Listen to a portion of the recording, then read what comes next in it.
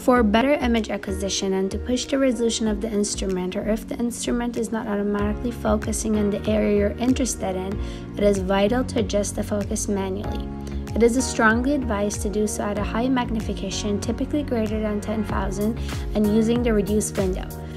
First, find something near your area of interest that is easy to spot changes in. A great way to find this is saving an image at low magnification and finding the area of interest and zooming in. Basically, you want to find something that has curvatures in all directions and at a height of the sample that you're interested in. If the area you're interested in has this, then you can use that. Once you find the area and have moved to the high magnification, switch to reduce scanning mode. To manually adjust the focus, you can use these buttons. Or you can left click and hold on your mouse and drag the cursor left and right. Take the cursor to both extremes and then find the perfect optimal point that the image looks the best. Astigmatism can be seen in the image by movement when you move in and out of focus and a stretching of the image in one direction. The astigmatism can be corrected with stigmators, On stick, which is the little pop-up on the bottom right, and play around with both of directions, X and Y, until you get the best quality image and try fixing the focus again. Once you have manually set the focus and astigmatism, do not use the autofocus button unless you move to a new location. You can still use the auto brightness and contrast button when changing magnifications.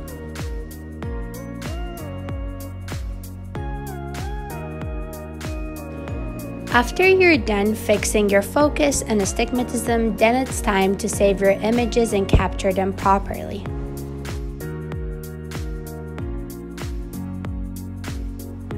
You can perform analysis on the image by clicking on thumbnail and double clicking on the image you want to see.